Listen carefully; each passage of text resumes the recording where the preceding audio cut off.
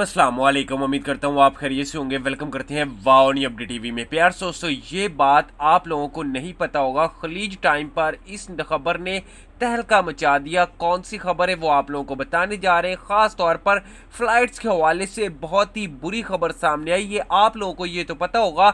बहुत सारे news channel ने ये बताया होगा आप लोगों को इंडिया और पाकिस्तान के लिए जो पाबंदी है वो एक्सटेंड कर दी गई है। यानी 30 जून तक लेके गए हैं। लेकिन ये खबर देखने के बाद आपके होश उड़ जाएँगे। जो भी मेरे भाई दुबई जाना चाहते हैं यू की किसी भी रियासत में जाना चाहते हैं और फ्लाइट्स बंदिश की वजह से नहीं जा पा रहे या वहाँ से नहीं आ पा रहे, उनके लिए ये वीडियो हम बना रहे हैं। आपका तलक इंडिया से, पाकिस्तान से, बांग्लादेश से, अफ़गानिस्तान से।